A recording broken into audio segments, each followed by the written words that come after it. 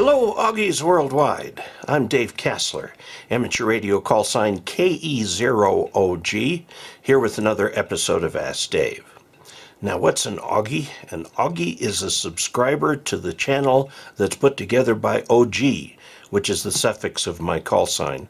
When YouTube wanted me to put a uh, oh, a logo together. The only thing I could finish and uh, or put in fit into the tiny little spot they gave me was just the letters OG and an exclamation point.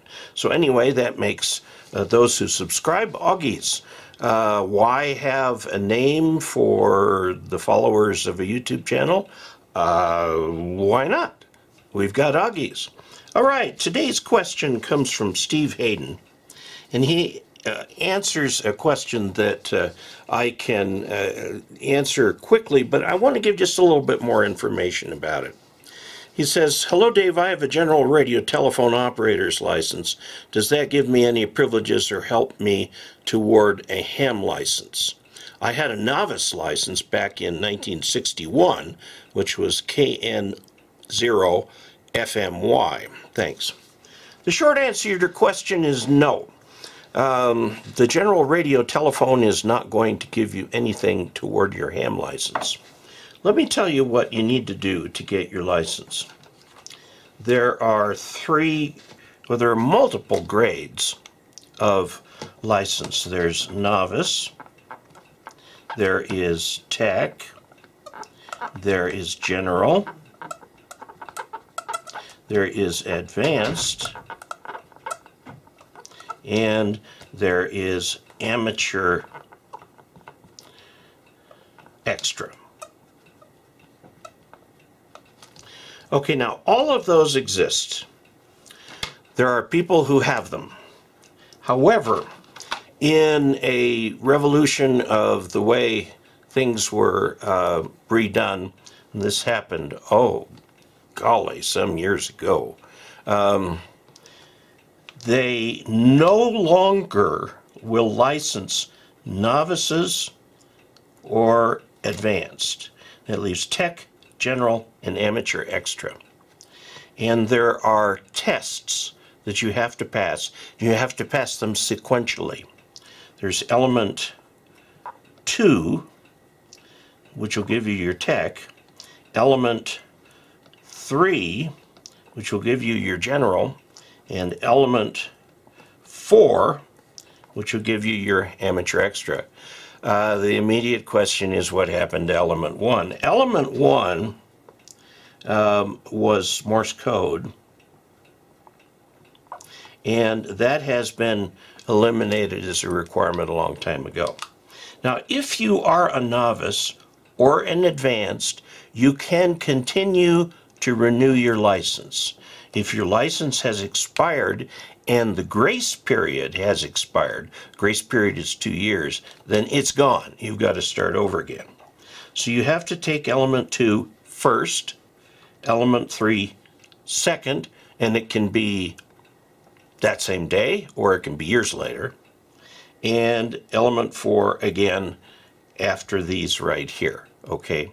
If you are a general, for example, you can come in and take element 4 and get your amateur extra. If you are advanced, you can come in, take your element 4 and get your amateur extra. Now, let us suppose that you were a general many years ago and it expired. And I'll just put expired here.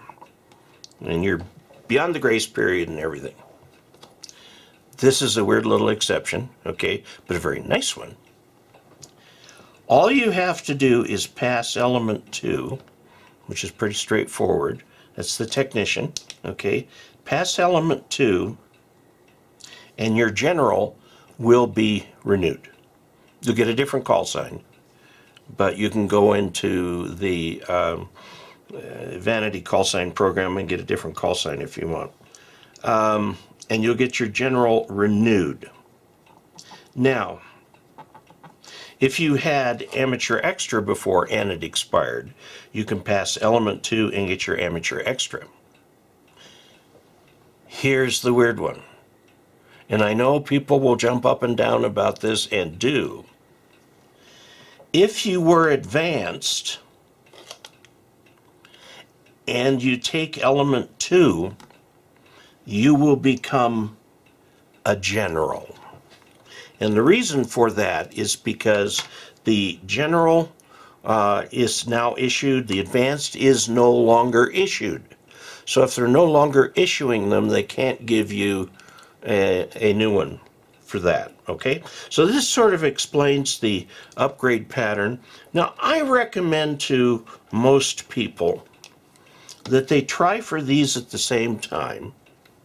Okay, at least get your tech and work on your general, and then stop. Get on the air, put a station up, get on the air, use your general privileges, talk on HF, do DX, do contests, do rag chews, all of these different kinds of things like that. And then after a couple years, work on your amateur extra, okay? And then it will be far more meaningful to you. Because if you go all three in one, and I've seen many people go zero to extra in one sitting, and I have found essentially none of those who have stayed active in the hobby the chances are very low. I'm sure that I'm sure you're out there. You're probably one saying, "Wait a minute, I did that." Okay, so anyway, most people, if they go all the way at once, um, sometimes it'll stick, sometimes it won't. Uh, but if you do get your general, do get on uh, HF. Now, I want to tell you about one more thing that is good for you to do. Once you get your amateur extra, become a volunteer examiner. Their uh, ARRL is the biggest volunteer examiner coordinator, in the W5YI group is the second biggest. Now, there are additional ones here, and some of these, like the Alaskan one, are being very um, advanced in the idea of testing remotely so that you don't have to go to a VE session. Like here in our club on the Colorado, uh, uh, the, the western slope of Colorado, uh, is very thinly populated. And we only give five tests a year. And you probably don't want to wait all summer long for testing opportunity to come along. But if you go to like Hamtest Online or places like that, they have listings of where you can do uh, online uh, sessions. Now, the way they do this is have you go into a room that you can demonstratively prove has no reference material. And that is either a completely empty room or more commonly the bathroom and you go in and you show with your uh, camera in real time every corner and nook and cranny in there, the table where you're going to sit, you close and lock the door. If you are interrupted for any reason, that ends that test session. So they're very strict about this. So you have to make sure that your family members understand the critical importance that before they come talk to you, the house had better be on fire or something like that, uh, the, otherwise that test session is canceled, the fees are um, not refunded, and so on. But it can be done, and has been done a lot during the pandemic. So this gives you just a little bit more overview of the amateur licensing, and uh, I hope that helps. So there you have it. If you would like to contribute financially to this channel, you may certainly do so by going to dcasler.com slash support. Similarly, please subscribe. It tells YouTube this is a channel worth sharing. And I hope you will join the ARRL and see the fun new things that are up there. And we'll talk to you all soon. Until we next meet, 73.